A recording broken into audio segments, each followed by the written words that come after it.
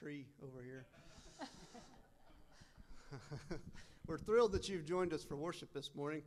Um, the first one we're going to sing, uh, Jarrod asked if I, we'd do, and he said it's this old, old song. Uh, Moses sang it coming off the mountain. It's that old, and I said we got some people that probably remember that, so we, we should we should be we should be no problem for us. Barry Barry Barry knows it well. He said, yeah.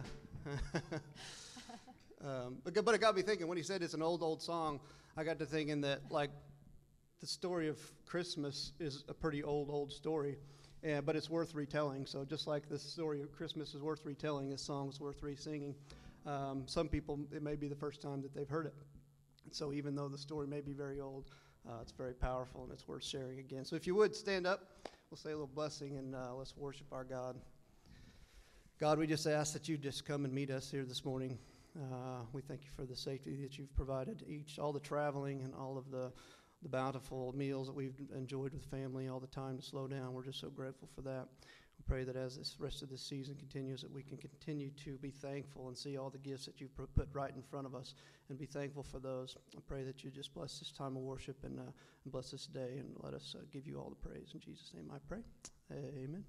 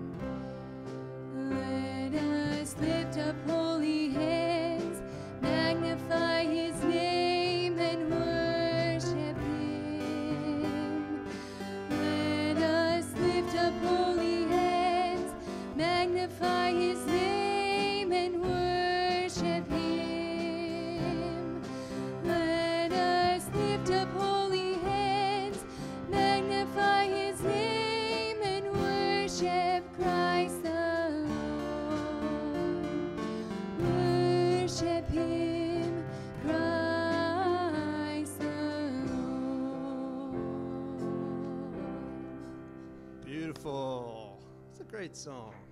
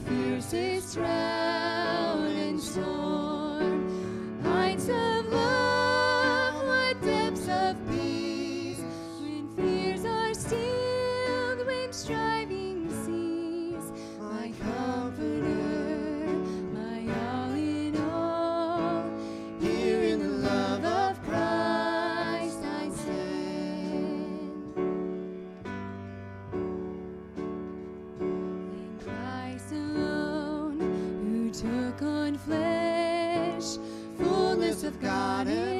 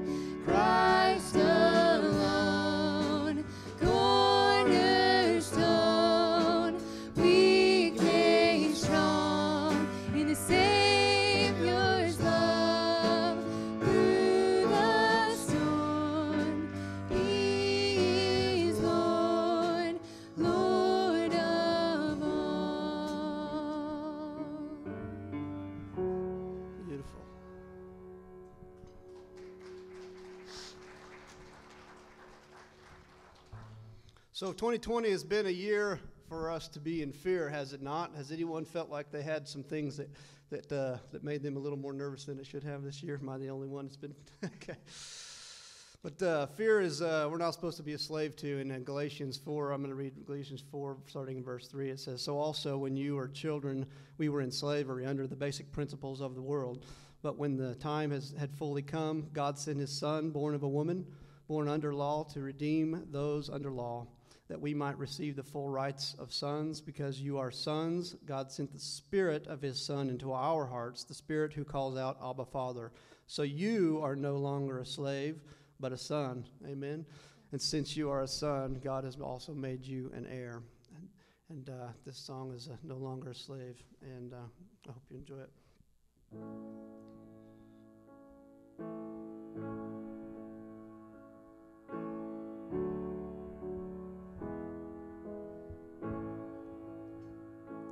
You unravel me with a melody.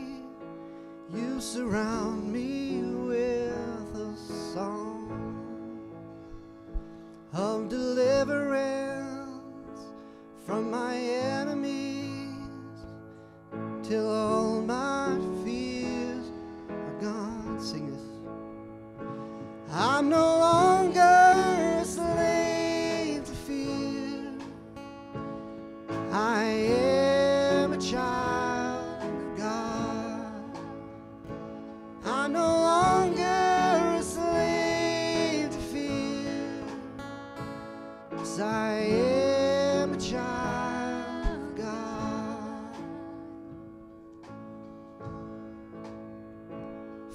my mother's womb, you have chosen me.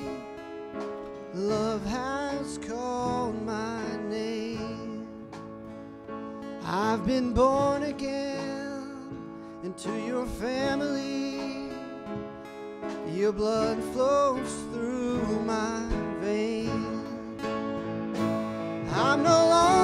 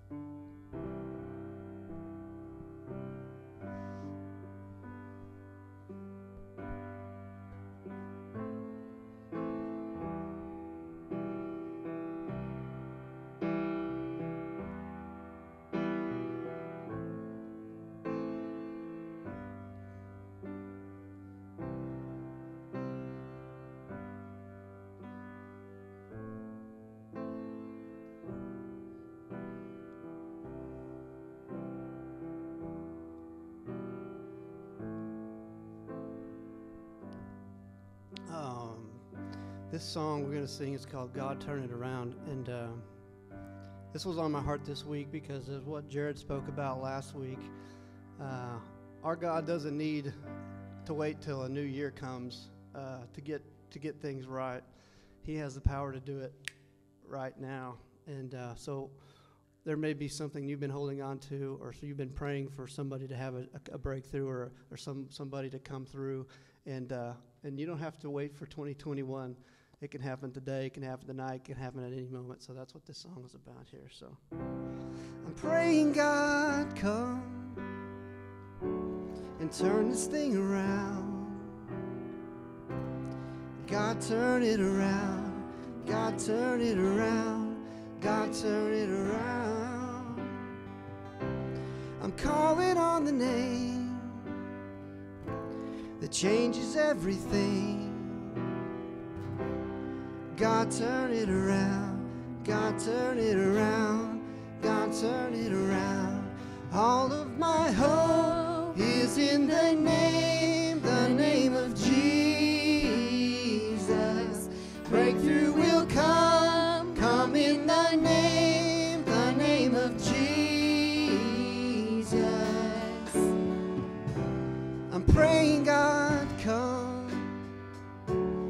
Turn this thing around.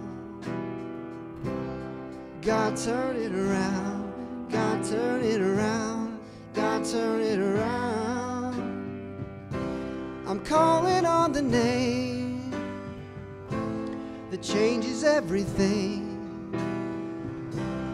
God turn it around. God turn it around. God turn it around. Cause all of my hope is in the name,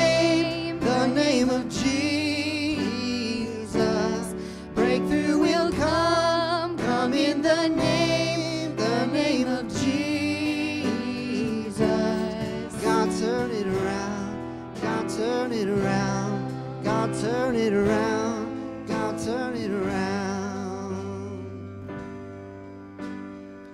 He is up to something. He is up to something. God is doing something right now. He is healing someone, He is saving someone. God is doing something right now. He is healing someone, He is saving someone. God right now. He is moving mountains, making a way for someone. God is doing something right now.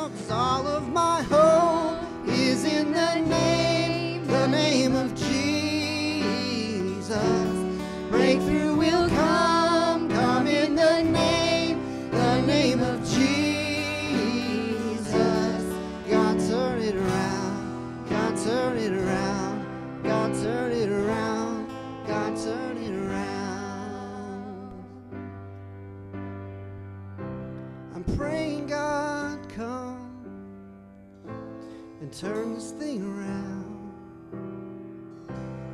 God turn it around. God turn it around. God turn it around. Calling on the name. I'm calling on the name that changes everything. God turn it around. God turn it around. God turn it around.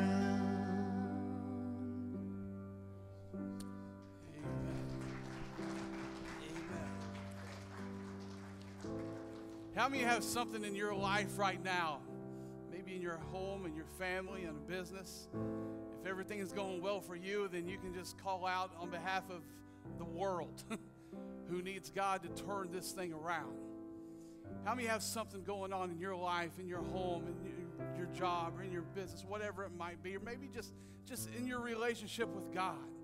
This morning. You're like, God, I need you to turn this thing around. Uh, uh, you know, you look across our community, you look across our world, you can see that there's things going on that we need to call on the name of the Lord because we need God to turn some things around. It seems like it seems like evil people are winning, doesn't it? It seems like evil people are, are, are, advancing and moving forward with, with their agenda. But, but I believe this morning that we as the church the church of Jesus Christ, we have the power through the blood of Christ to call on Jesus and He can turn this thing around. Amen. He can turn this thing around. He can turn around what's going on in your life. He can turn around what's going on in our community. He can turn around what's going on in our nation. If we will humble ourselves, repent, and seek His face, He will turn it around. I believe it with all my heart. I believe it with all my heart. And so, right now, whatever you're facing, and if you're like, hey, my life's good, then just go to God on behalf of our nation and say, God, can you help us turn this thing around?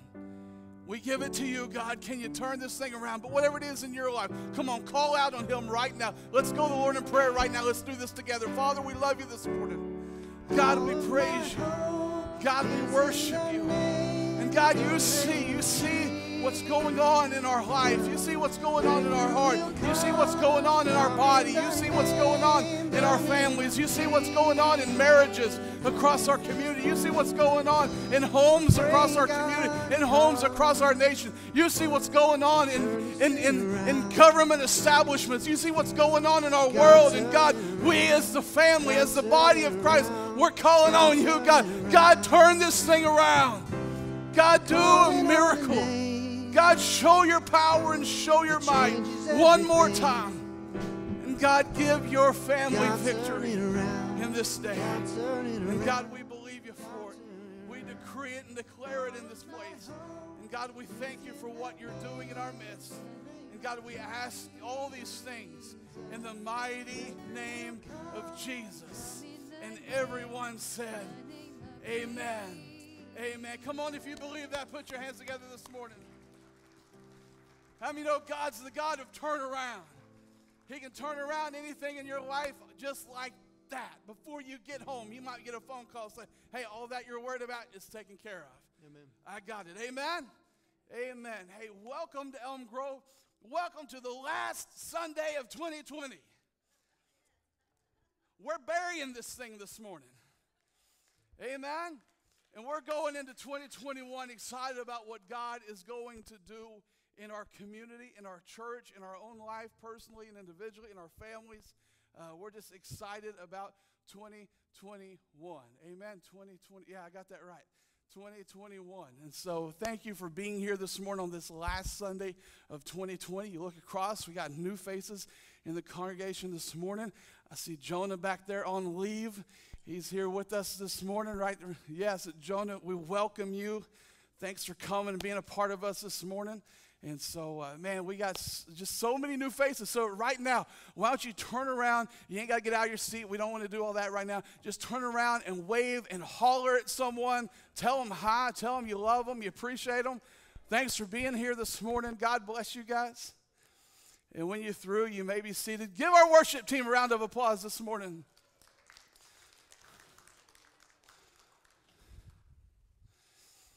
Amen. Kids Church, nursery, you guys are dismissed at this time.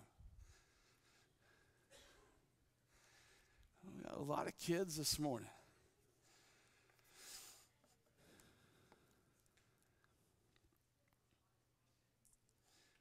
Amen. Look at all the kids. This is cool. Awesome.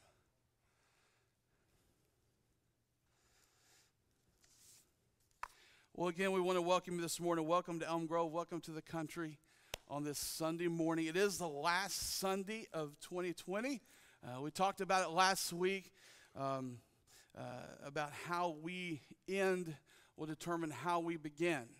We're not just going to just just end this thing just to end this thing. We want to end 2020 on, on a good note and on a high note. Amen. And so, thank you for being here with us this morning. Got a good looking crowd. We want to welcome our online family at this moment as well. We have many who are traveling today.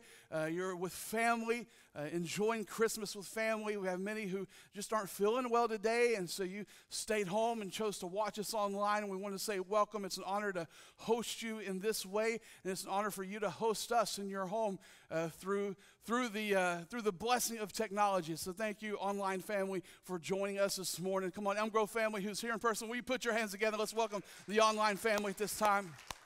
Amen. So it's an honor to have you with us today. And so thank you for joining us.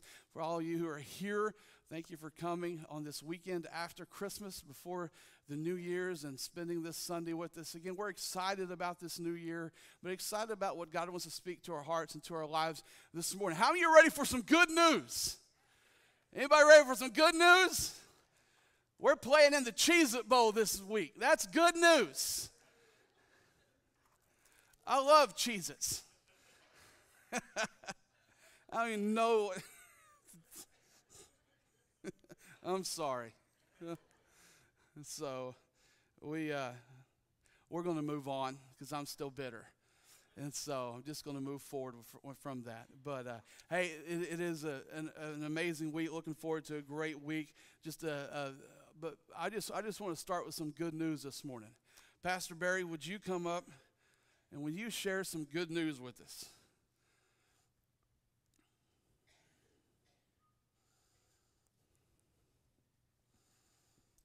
Yes, I will. oh, after 40 days and 40 nights in the hospital, and then on Christmas Eve morning, I got to go get Barb and bring her home. Isn't that great?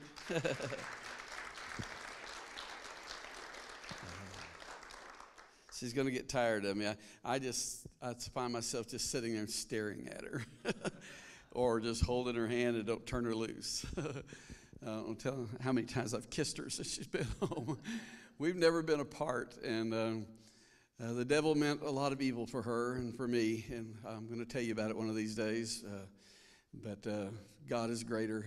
And uh, I'm just a big crybaby, so I probably won't say very much, okay? Because I just get real emotional talking about all of it. But uh, well, it was just um, really special to get to bring her home on Christmas Eve.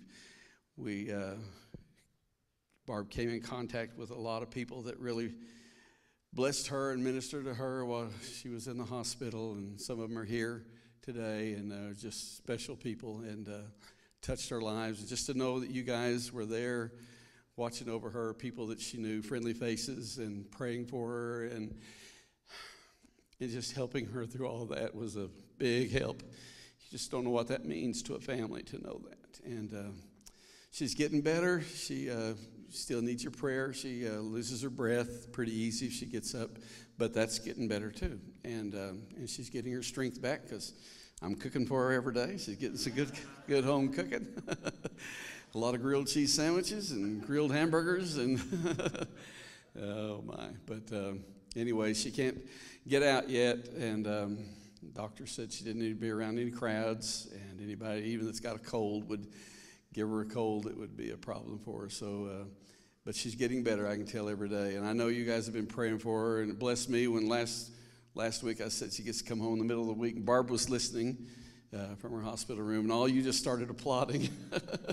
that blessed me. It really blessed Barbara too. And uh, uh, anyway, I know you've been praying for her, and uh, she's going to get back here as quick as she can. She sure hates missing. she sure hated staying home while I left and came here this morning. So anyway, that's good news. I, a lot better than uh, the devil told me was coming my way. He's just a liar. Do you know that? He's a liar and the father of lies. And sometimes we just have to tell him to his face um, and call him what he is. Greater is he that's in us than he that's in the world. Don't ever forget that. Anyway, God bless you.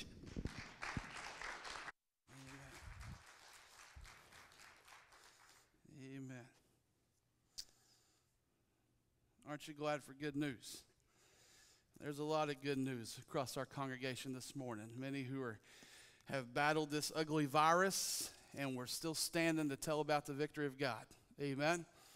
And many have battled sickness, and you're here, and many who are watching online, and you're you're getting over this thing, and and uh, um, man, it's just it's it's good. It's good to be a part of the family of God, and so we're going to talk about that this morning. But before we go a, couple of announcements for you. First of all, uh, remember that this we're still on Christmas break, and so there'll be no Powerhouse Kids or Grove students or midweek study this Wednesday. Uh, we will start back a week from Wednesday, so excited about that. Um, uh, let's see what else is there uh, next. Sunday, as soon as our service is over, uh, we will be removing the Christmas decorations from uh, our walls and our facility and putting them back up for another year. And I'm just believing Jesus is going to come back for we have to put, put them back up. Amen. And so, everyone who helped put them up, you would agree in prayer as well. And so, but we, we have a great time. We always have a great time uh, putting them up and taking them down. And for some reason, taking them down is a little bit quicker than putting them up. And so, but this next Sunday, we're going to be taking those down after service. And, and if you want to stay and help out with that, uh, we'll, we'll feed you. We may just get buried and make those grilled cheese for you. And so we're going to have a, a great time. And, and so I want to encourage you, if you can, to stay and help out with that. Um, uh, and, and, and, again, um, we're just looking forward to a great 2021. Looking forward to what God's going to do here in this place. And, and looking forward to getting everybody back. Everybody back from the holidays and everybody back from sickness and getting everybody back in the house of God. So that's coming, that's coming soon. Amen? Amen. Hey, uh, also, if you would, if you would just take a, a moment and remember Carolyn and her family in your prayers. Um, Carolyn's brother, Wild Bench passed away last night. And so, uh, um, if you will just remember them and, and her family in your prayers this morning as they proceed forward with all the funeral arrangements and all the things they have to do. And, and uh, uh, he was in the nursing home for, for a while. Carolyn go down and see him and uh, take, what, what, was it you take to him? Boy, you, you take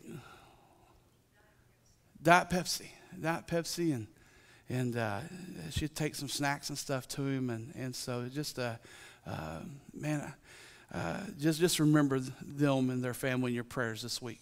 Would, would you do that? In fact, let, let's just pray. Let's pray over them right now. Would you join me in prayer? Father, we just lift Jeff and the entire family before you today. God, as they just proceed with, with everything that's on their plate and everything that's running through their mind, and God, everything that's going through their heart as they prepare over these next couple of days. Uh, God, we just, we're asking for your comfort to wrap around them. And God, for you to strengthen them and uphold them in this time. And God, we're asking that you would just, uh, Holy Spirit, you're known as our comforter. And so today and for the days to come, we need you to be exactly who you are. Wrap your arms of comfort around this family and just uh, uh, give them exactly what they need in this season and this time. And God, we thank you for a, life that we know uh, uh had his faith and his trust in you. And so, God, we, we mourn and we grieve, but we don't do it as the world does. We do it with hope and expectation of what is to come. And so, Father, may this family feel that great hope and that expectation even in the midst of sorrow. And so, God, we ask all these things today in Jesus' mighty name. And everybody said, Amen. Amen. Hey, God bless you guys. Thank you for joining us in that prayer this morning.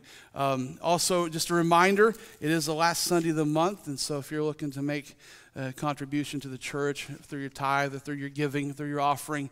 Uh, as you leave today, the uh, offering receptacles are located on both sides of the media center as you exit our sanctuary, and you can just drop it there in the box.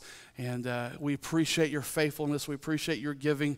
This church is absolutely incredible in the way you continue to reach out and the way you continue, continue to uh, uh, fund what God's doing and fund the kingdom. And he, I know He's going to bless you for it. I know He is blessing you for it, and I know He'll continue to bless you for it. His word is true. Amen. And so, uh, thank you so much for for giving and, and uh, uh, honoring God and worshiping God uh, through your tithe and through your offering. So we appreciate that. And but more than that, I know God God will bless you for that. So thank you so much for that. And and uh, uh, it is the last Sunday, and so anything that goes today will be on the 2020 uh, uh, slips as you get those here in a few weeks. And so just a reminder for all that. So just drop those in the receptacle as you leave. And if you're like, I, I didn't, I didn't bring anything today, that's okay. Find a neighbor that's got a checkbook and just be led by the Lord. Amen. Amen. So, or ask them to borrow their credit card, then hop on the line before you leave service today. It's, uh, it's all good, all good. Today, as we wrap up 2020, I want to talk about something that this church is phenomenal at. You're, you're, you're fantastic at this. And I address this issue not because we have any issues. I address this because not because we have any problems. I address this because uh, you guys operate in this um, with excellence. And I just want to continue to encourage us to operate in this with excellence. I want to encourage us to continue to walk in this in which we're about to talk about. Again, there is no issues, there is no problems, there is no what, who's he preaching to, who's he talking about. I bet I know, I bet it's him. No, no, there's nothing like that. I want to encourage us as we continue. Over the last 40 years in leadership in this church, you guys have had incredible leadership through Pastor Orville and Sherry and they have taught this, they have exemplified this, they have walked this. Um, it has been just an incredible testimony to the leadership that they have brought to this church, not only to this church, but to this community. And this is the word that I just want to hone in on today, and it's the word unity. Unity. I want, to look at, I want you to look at your neighbor and say unity. Cover your mouth if you need to. Form your own ma- mask with your hand and say unity, and then shake their hand and just, no. Unity. Um, in, in Peanuts, how, how many of you have ever uh, saw a, a, Peanuts cartoon or a Peanuts comic strip with Charlie Brown and Snoopy? I used to watch these and look at these all the time. And, but in a Peanuts cartoon, Lucy demanded that Linus change TV channels, threatening him with her fist if he didn't. And he said, What makes you think you can walk right in here and take over? said Linus. And Lucy replies, These five fingers. Individually, they're nothing. But when I curl them together into a single unit, they form a weapon that is terrible to behold. And Linus responded, Which channel do you want to watch? And turning away, he looks at his fingers and he says, Why can't you guys get organized like that? There's an old African proverb that says, The man who tries to walk two roads splits his pants.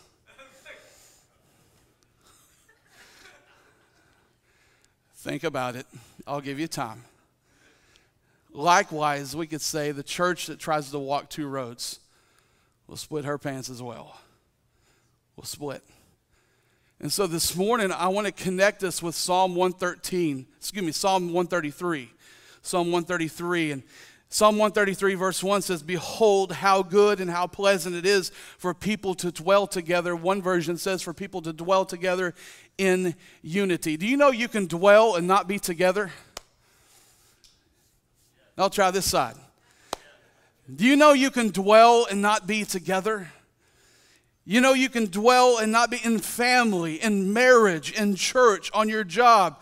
God wants us to dwell together in unity. In fact, the last prayer that Jesus prayed in John 17, he prayed it five times. He said it five times in the same chapter, the same prayer request. He said, Make them one. Make them one. Make them one. He said it five times because unity is a big deal to God. It's a big deal to him. If the devil can divide us, he can conquer us. If the devil can divide a marriage, he can conquer the marriage. If the devil can divide a household, he can, he can conquer the household. And if the devil can divide the church, he can conquer the church. Unity is a big deal to God. Look at your neighbor, cover your mouth, and say, It's a big deal. It's a big deal. And then in verse 2 of chapter 133 of the book of Psalms, it talks about the precious oil upon the head, running down the beard, the beard of Aaron, running down the edge of his garments. He's saying, what God is saying is the anointing, because that oil is representation of the anointing. The anointing is attracted to unity. The anointing is attracted to unity.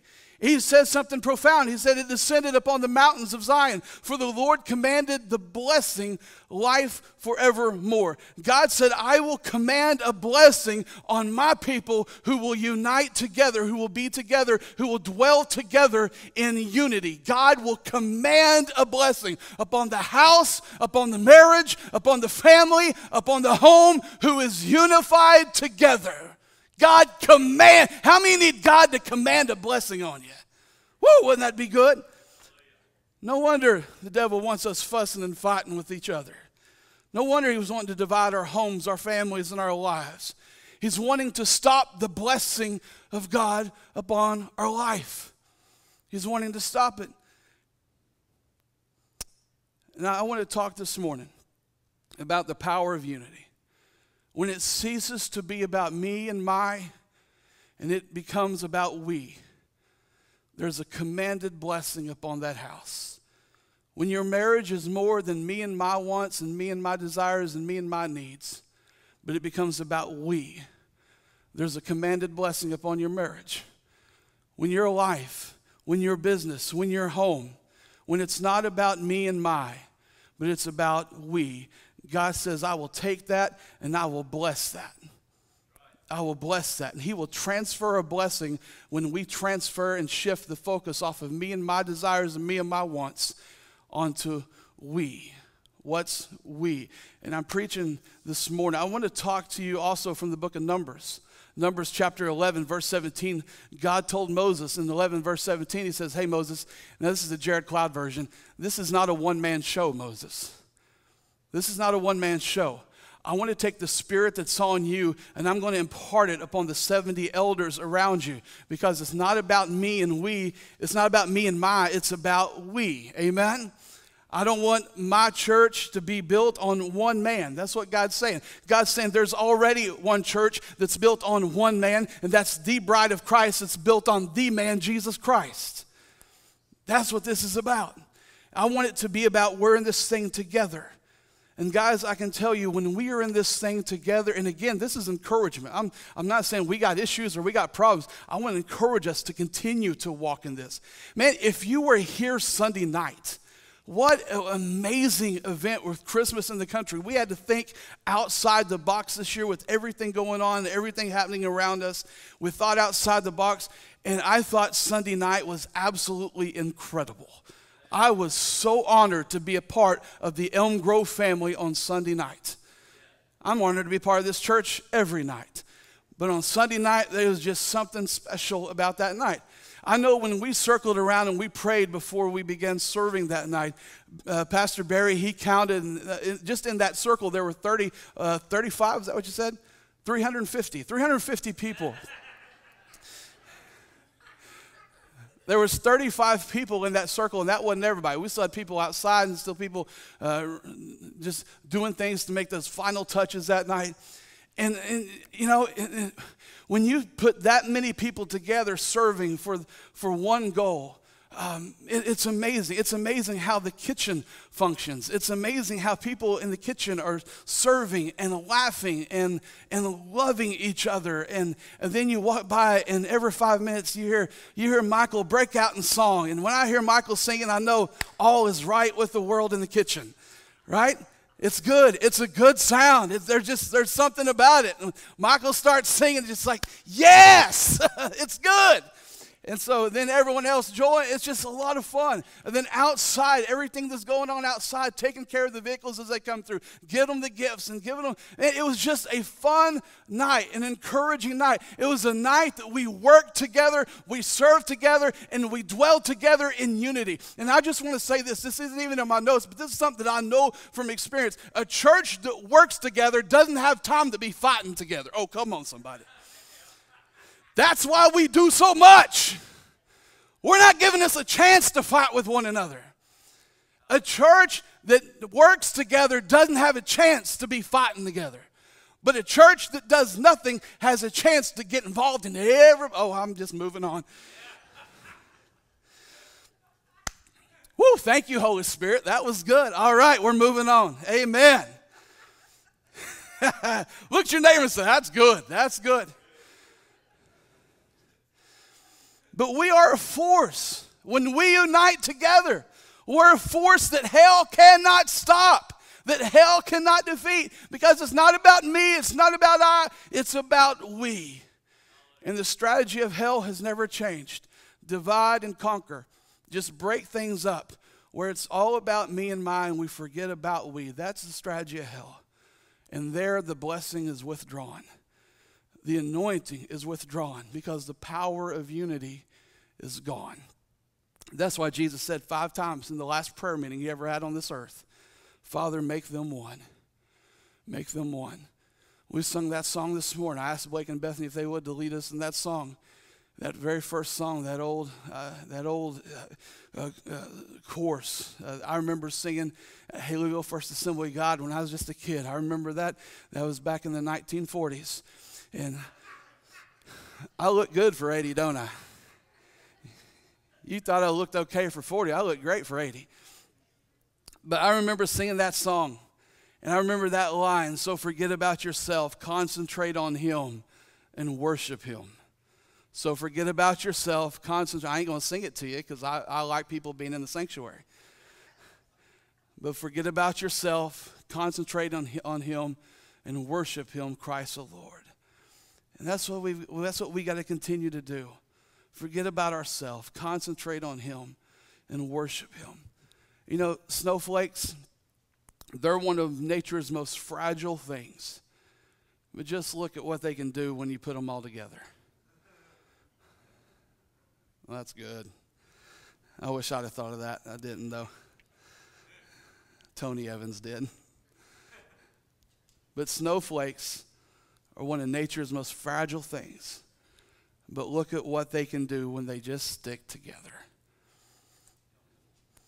We, uh, we were pastoring in Sapulpa, and uh, I'll never forget this Sunday night. Um, it was altar time, and people had come down and, and was desiring prayer. And there was a, a couple in our church, and their name was Jack and Jacqueline.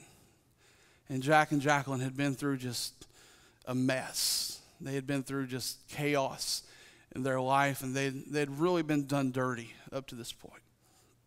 They had three three wonderful girls who are in our youth ministry there. But they come forward that night, and they they were just all both of them broken, and they both just wanted wanted us to pray with them. And there was probably on a Sunday night, I'd say probably 75 to 100 people there on, on during our Sunday night services, and and um, as we come forward, we begin to, to pray with them. And, and I'll never forget as we were praying, they were just broken, and both of them, Jack, and Jack was just a big old guy. Um, uh, Jack reminded me of what's, what's the guy's name off Monster Inc., the big one? Sully. Thank you. Thank you. Jack just reminded, we called him Sully because he just he looked like Sully, he talked like Sully, just a big old, just cuddly guy. And so Jack was forward, and he was probably stood about six foot four, six foot six. He stood above the crowd during the altar time that night. And his wife Jacqueline and their three girls, and they come forward, and we just we just begin to pray with them. And I'll never forget as we begin to pray, I opened my eyes.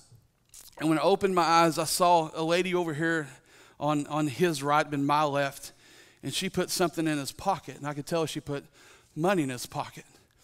And I thought, well, praise God, that, that's, that's fantastic. That's awesome. And then the next thing I know, someone else, like from the middle, was passing money up and they were putting it in his pocket. And, and then, then there was someone else that was over here on the right side that walked kind of in front of me between me and Jack and Jacqueline and put money. He had, you know, he's a big man, so he had a big pocket and put money in his pocket, his shirt pocket. And this began, this didn't happen two or three times. Like this started happening for, for what I would say five, six, seven minutes as people would, were going back to their seats and grabbing money from their purses and grabbing money. Some even went back to their cars and got money out of their car, got a checkbook and, and was writing the check and put, and before long, like he had money flowing out of his pocket. And then they were just trying to give it to him. And I just remember the scene. Him, he had his hands up. And how many know if that happened to you, you'd have your hands up in worship too? He had his hands up. Someone's like, Yeah, can we have that kind of altar call this morning? He had his hands up in worship and he has hands up in worship. People were just sticking money in his hands and he you know he's trying to worship but he's holding on and money was just falling out of his hands. And i, I just i just remember that night. I remember that night because that night that family who was in a great financial bind that family walked out of there with over $3000 in their hands and, and then a home that they could move into and live in for the next couple of years rent free I remember, I just remember that night. I remember how the, the church came together on that night. And, and it just stuck with me in my mind for all these years. And listen, we, we are that church. We're, we're, we are that church. We, we, we may not have altar calls, like, but whenever there's a need in this community or where there's a need in this church family, you guys continue to reach out and to give out of what God's blessed you with. And that's, that's, that's part of being the body of Christ. That's part of that unity that we uh, get to be involved in. How many remember the story in the Bible about Ananias and Sapphira? You remember that story? Isn't that an amazing story? Let me just, just kind of hit real quick.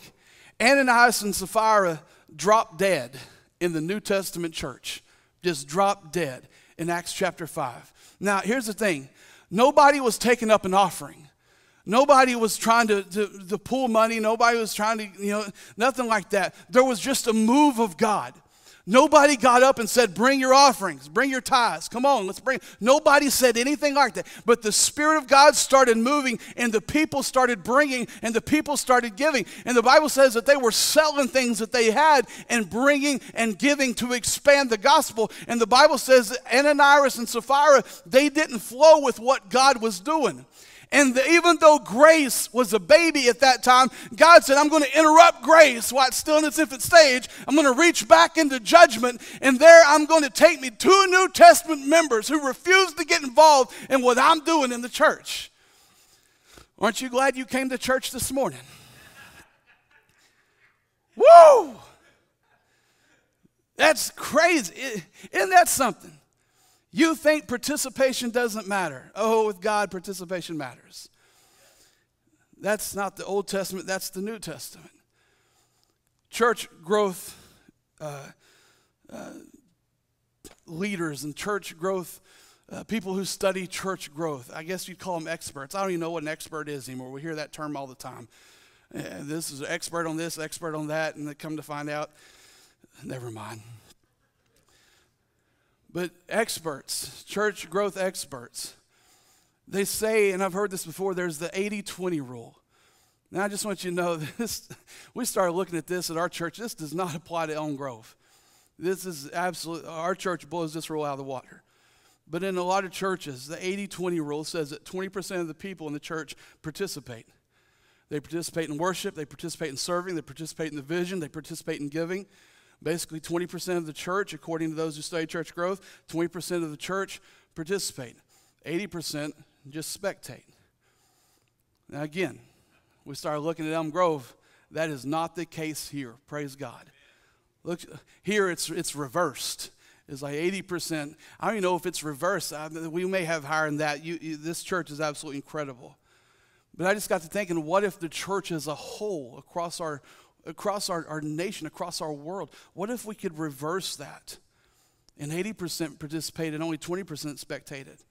You come into an atmosphere where eight out of 10 people are on fire for God and going after God with everything that they have.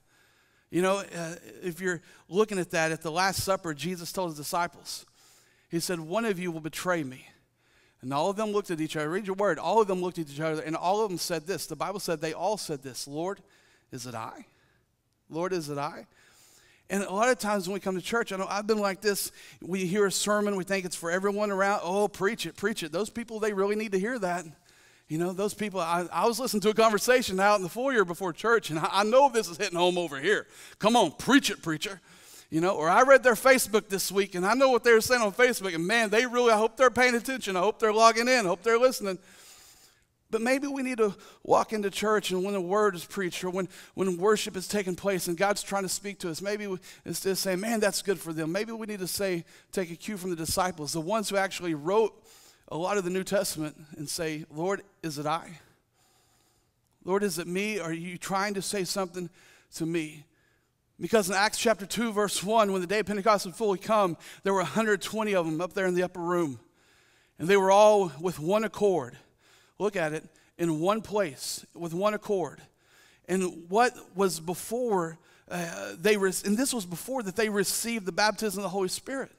So, how much more those of us who've been filled with the Holy Spirit ought to be in one accord and in one place together, praising and magnifying God together in unity. The Bible said this there came a sound from heaven like a mighty rushing wind. It filled the place where they were sitting, and they were all filled with the Holy Ghost. And they began to pray in other tongues as the Spirit gave them utterance. And so, what are you saying? What I'm saying is there's something about being in one accord, there's something about being in unity that God commands the blessing to flow to that people. When they got rid of division, when they got rid of me and mine, they became we. God begin to flow. And the reason God can't bless a lot of times like He wants to bless is when we say me and my is more important than we. One of the biggest prayers we ought to pray is God, unify us, keep us in unity. The Bible said on the day of Pentecost, after they filled the, uh, after they were in the upper room, the Holy Spirit filled them. And they said that they went into the streets and we always talk about Peter, Peter being the guy that preached the first sermon on the day of Pentecost, a sermon that birthed the church. But the Bible says in Acts chapter 2, verse 14, that Peter's standing up there with the 11. He wasn't standing there by himself, he was preaching, but all 11, they weren't sitting, they were standing there with him. They were with him, they were there together. They were creating a place in one accord that God could command the blessing to come out of the temple onto the streets. Does that make sense? They understood the power of unity. They understood this is not a one man show. It's not about me and my, it's about we. And listen, if we get raptured, it's not going to be about me and my. Listen to what the 1 Thessalonians 4:16 says. For the Lord himself shall descend from heaven with a shout, the voice of the archangel, the trumpet call of God, and the dead in Christ shall rise first. Watch this. And we who are alive and remain shall be caught up. If you're going to get raptured, it's going to be a we rapture. There's others of us going with you. And if I don't, I'm grabbing hold of your foot tail before you, you know, I'm just kidding. There's other of us that we're, we're, we're going. This isn't a me, my thing. This is a we thing. We get to go experience Jesus together. Together. We, we will be caught up together with him. We, it's about the power of unity.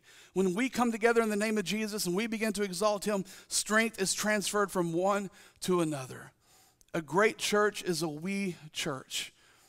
And for the past 40 years, this church has been about we.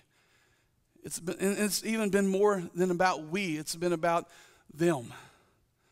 What can we do to reach them?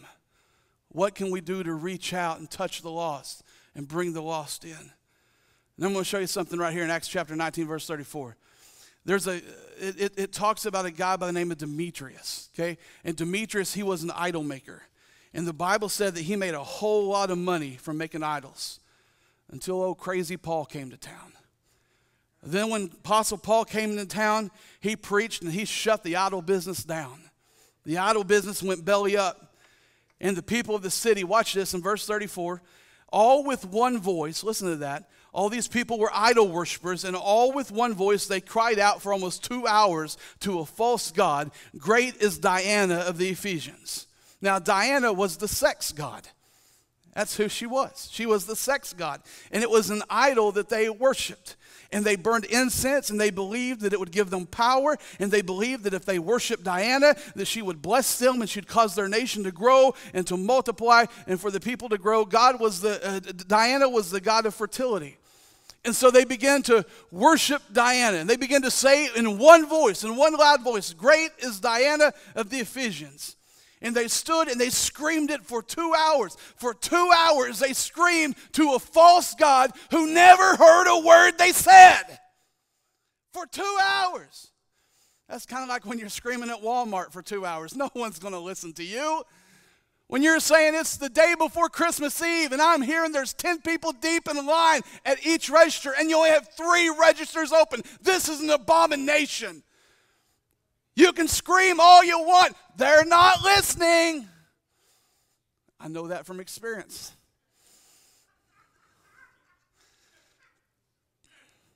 In fact, people just look at you like you're crazy. I'm moving on, never mind.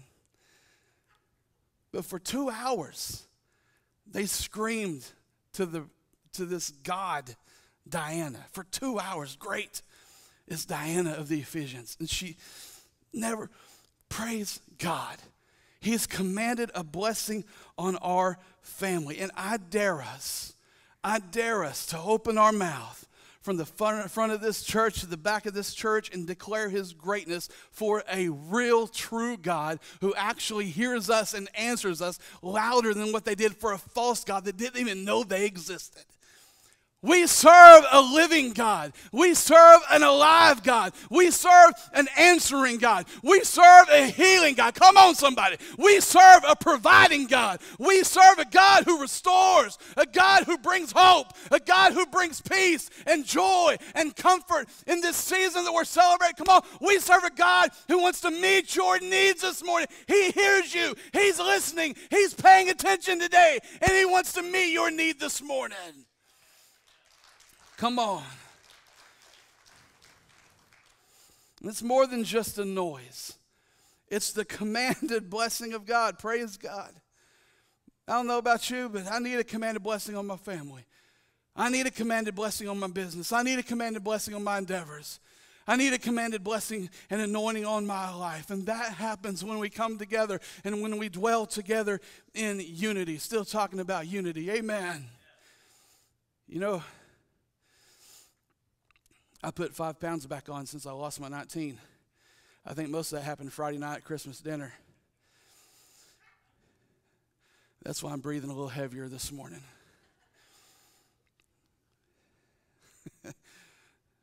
the stuffing has stuffed.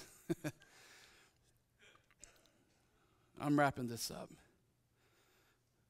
The Bible said in Genesis chapter 11, it's a remarkable verse the Lord said, talking about the people who were building the Tower of Babel.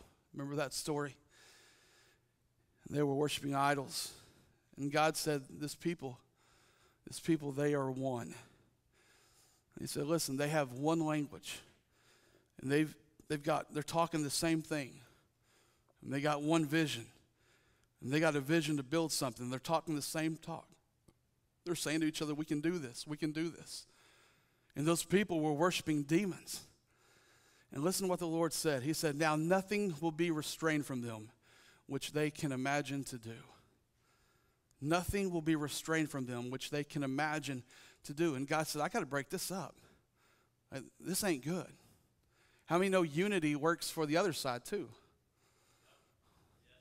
How many know right now there, there may be more unity on their side than there is on this side? We need to get it together. Come on, somebody. The church, the church in our nation needs to get it together because the other side is pretty pretty unified right now. CBS, no, never mind, never mind. God said I got to break them up. And you know the story. They tore down the tower. He tore down the tower. He messed up their language. He uh, gave them different languages. Wouldn't that have been a funny sight? They're trying to communicate. They've been used to communicating just like we're communicating here this morning. And then all of a sudden, I just start speaking something totally different. And then you're sitting there and you're like, I don't understand French. It's not French, it's Italian. And I don't understand that. And you turn to your neighbor, you turn to your spouse, and you say, What in the world is he talking about? What's he saying? And they don't understand you because they, they're, they're, they're speaking a total different language now, too. Wouldn't that just be a hoot to see? And that's what's happening here. Everybody's talking a different language, everybody's understanding a different language. God just does something incredible. Now they're not talking the same thing, they're not seeing the same thing. If God said if they keep going together in unity, nothing will be restrained from them which they can imagine to do. If they keep going together in unity, nothing will be restrained from them which they can imagine to do. Hmm. Let me say that one more time. If they keep going together in unity, nothing will be restrained from them that they can imagine to do. God's not just talking about the Tower of Babel, He's talking to the church. If they keep going together in unity, nothing will be restrained from them. I will command my blessing on them, and nothing will be restrained them that they can imagine to do. Think about that in your family, think about that in your marriage, think about that in your business, think about that in your own life. Maybe think about how much division do you have? How many people are you just not talking to right now? How many people are you angry with? And the devil's saying, I want you to stay that way. Because if you'll stay that way, I can block this blessing. But God wants to command a blessing on you. And that blessing comes with unity. It will not come without unity, it comes with unity. Blake and Bethany, go ahead and come to the front. How many are thankful we're a part of a unified family here. And I'm going to go a step beyond that. I'm thankful that I'm a part of a unified church in our community. I've never, ever been to a community like Seiling where the churches work together as good as we do here. We're not competing, it's not about a competition.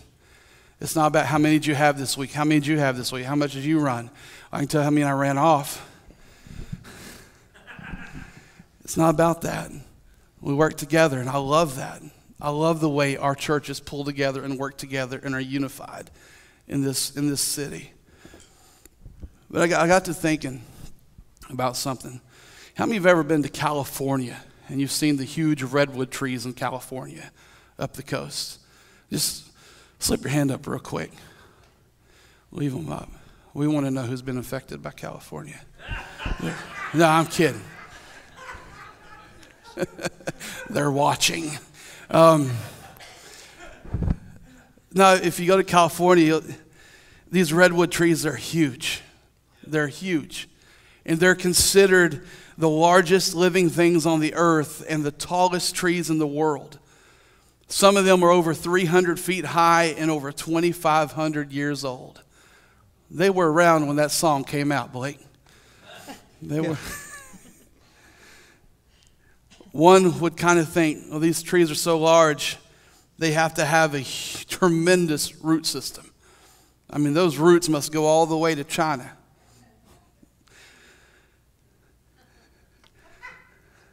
Moving on. Reaching down hundreds, thousands of feet into the earth. However, the redwoods actually have a very shallow root system. Well, how do they say so big and so strong?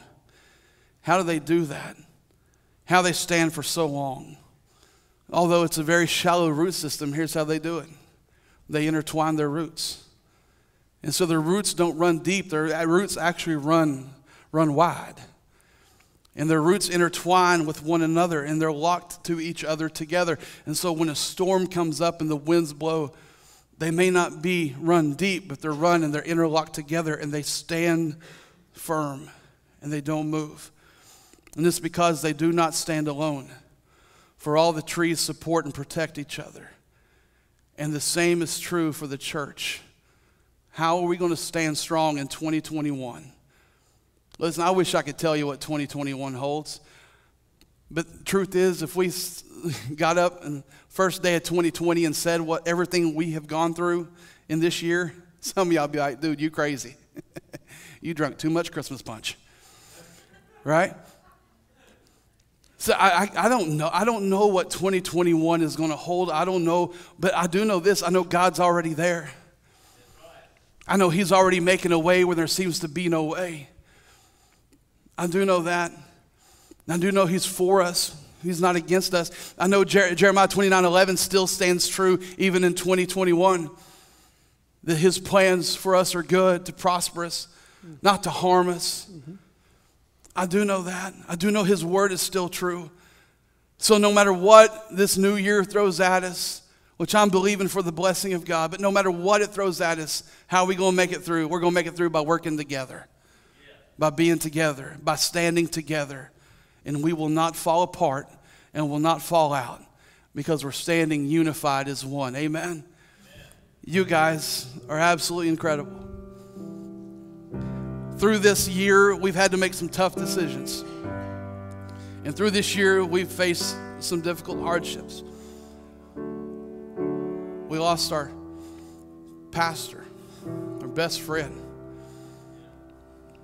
We didn't lose him, we know right where he's at. But there's a void in our life here now. That's enough. On top of all that, we've had to deal with COVID. We've had to deal with you waiting by your phone on Saturday night and Sunday morning, waiting for a text. Are we having church or are we not having church? Checking Facebook. Are we having church or are we not having church? Is that preacher ever going to get out of his bed? Come on, somebody. For four days, I didn't. We've had, is this event canceled? Is this event on? We've had to take a new look at how we do rib dinners. Inviting everybody in, letting them pick all the sides and all the desserts and however many they want. God bless us, that was amazing. But then we had to go to carry out. And we had to use the Christmas in the country theme. You get what you get and you don't throw a fit. How you know what I'm talking about? We've had to lot, make a lot of changes. We've had to make a lot of adjustments. And I know pastors who've tried to make those adjustments. They've tried to watch out for their family. On Wednesday nights, when we make calls about are we having a Wednesday night because of the weather and because of this, we're not just thinking about our youth and the kids. We've got a team of over 50 people, over 50 people here on Wednesday nights between here and the Grove who are helping out every Wednesday night. We got to watch out for their safety too. Many of them drive miles and miles to be here. We got some that drive 40, 50 miles to come to church. We don't take that for granted. And the thing is, through all these changes and through all these things that have happened throughout this year, I, have talked to other pastors, and when they canceled because of COVID, they said, you know, we got COVID cases in our church. People have rose up and said, why are you doing that? You're showing a lack of faith. And then when they keep going, other people rise up and said, why are you, why are you doing that? You don't care about your people. And I'm saying this. I'm saying I'm so thankful for Elm Grove because you may think that, but you don't post that. You may think that, you may talk, that, I don't know, but that's, that's not what's coming out of your mouth. In every decision that we've made, you may be disappointed in some things. Man, I really wish we had church today. Man, I really wish we had youth today. There's only 12 inches of snow on the ground and six inches of ice underneath. We can make it. But through all that, I know us as leaders, we've never heard an ill word. What we've heard is, guys, we support you. Guys, we're, we're, we're behind you. What we've heard is, guys, I'm glad I'm not making those calls. but, guys, we're behind you. And whatever you think's best, we're going to support that. That's unity. That's a family working together. And that's a family that through all the hell that's been thrown in 2020, That's a family that has stood tall and survived, and not only survived, but thrived in this year. We have a lot of people who aren't here this morning who are watching online. We check on them throughout the week. We love on them. We encourage them, and they're standing tall with us this morning as well. We have a family that's standing together, unified. And I'm encouraging you if you're looking for a family that's unified, you found it. You found it. There's so much dysfunction in families across our, our world. And God's trying to show our families a picture of what He wants His family to be like. And unity has got to be one of the core keys. Amen. Thank you. This morning's message is just to say thank you. Thank you. Thank you to everyone. I'm trying to look every one of you in the eye and say thank you. Thank you for this year. Thank you for a year that was tough and difficult, and we faced it with a lot of challenges and a lot of, a lot of times just praying and seeking God's face and saying, I don't know how many times I prayed this prayer God, what do I do? God, what do I do? And then God would say, I've surrounded you with people who are wise in that area. I've surrounded you with people who are wise in that situation. I've talked to Michael, I've talked to Lauren, I've talked to Carrie, I've talked to our board, just calling saying, What, what do we do? What are we supposed to do in this time? Give me wisdom. And they have fed me with wisdom. And together as a unified family, we've marched forward. Here we are on the last Sunday of December when a lot of churches across our nation are shut down. Here we are, and you guys are still here and still worshiping and still praising. And you guys online, you're still here. You're still praising. You're still worshiping. You're still with us because we're unified as one. We're unified as the church of Jesus Christ. He's coming back for a church without spot, stain, or wrinkle. And I believe every person in this congregation is going to be caught up together when we get to go by way of the rapture. Amen. Hey, stand to your feet this morning. This morning, with every head bowed and every eye closed. I don't want to leave this moment, leave this opportunity without saying this. First of all, before we can be unified as a church, we have to be unified with God. And that's why we celebrate Christmas, because on Christmas, God gave a way that we might be unified with Him. Where sin tried to wreck us and defeat us, God sent His Son to give us victory.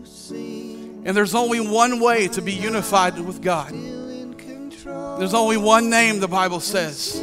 I know there's a lot of different avenues out there, but according to His Word, there's only one way that gets us in unity with Him. And that's the name of Jesus Christ. And that's the relationship with Him.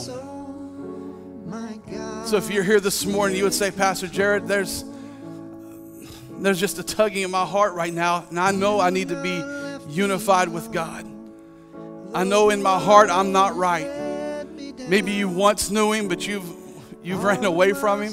You're not living where you should live. Maybe you've never made that commitment. Maybe you need to rededicate your life, or maybe you need to dedicate your life for the very first time. Well, this morning, that's why we're here. Because God wants to bring unity between you and Him through His Son Jesus. If that's you, on the count three, we just slip your hand up. Just slip it up and right back down. Slip it up high so we can see it. We're not going to call you out. We're not going to embarrass you. I just want to lead you in a prayer this morning. If that's you, will you slip your hand up? One, two, three. Anybody, anywhere? Yes, thank you, sir. Yes, thank you, ma'am. Awesome. Awesome. I want to be in unity with Jesus. I want to be unified with God today. Anybody else? Praise the Lord. I'm going to ask you this morning, everyone in this place, if you would, to pray this prayer with me. There was two of you that raised your hand. And I just want to ask you, you too, man, let these be words that flow from your heart, not just from our lips and from our mouth. And it's not about getting the words right, it's about getting your heart right. And this morning, God sees your desire to get your heart right, to get in unity with Him. So we're believing right now God's changing your destination. God's changing your life. God's bringing His blessing into your life. He can't command a blessing upon your life until you're in unity with Him. And now you are about to be in unity with Him, so there's a blessing coming your way. And man, a big part of that blessing is salvation for eternity, eternal life through His Son Jesus. Everyone in this place, come on, pray this prayer with me. Say, Dear Lord, I come to you today in need of a Savior. I cannot save myself. So today, I give my heart to you. Take my life and use it for your glory. I repent of my sin. I turn away from it and I chase after you. God, thank you for saving my soul, for giving me hope, and giving me life eternal. I thank you for your son Jesus. I believe he is the Son of God. And today, I accept his sacrifice into my life. I thank you for eternal life. In Jesus' name I pray. Amen. Amen. Come on, church family, get in unity and let's give them a warm hand clap of appreciation this morning. Amen. Oh Isn't God good? Come on. Come on, let's do it one more time. Let's lift up the noise in this place. Let's praise Him. For two hours, they said, Great is Diana. Great is Diana. Come on, for two minutes, let's say, Great is the King of Kings. And great is the Lord of Lords. And great is the host of all hosts. Great is the one who gave us life, who gave us hope, who gave us freedom, who shed his blood. Come on, great is he. Greater is he that's in you than he that's in the world. Amen. Amen. Aren't you glad that you're in unity with him and with one another this morning? Now, I'm not going to tell you what to do. I'm not going to tell you turn around and hug somebody, love them. I, that's, that's between you and the Lord. But I, before you leave, I want you to look, at least look someone square in the eyes and tell man, I'm glad I'm, I'm united with you because we got some good things coming in 2021. Amen? And we all want to be part of it. God bless you guys this morning. Thanks for being here today.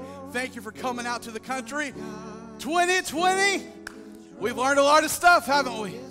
We're going to take those lessons into 2021 and we're going to see God do some amazing things in our life.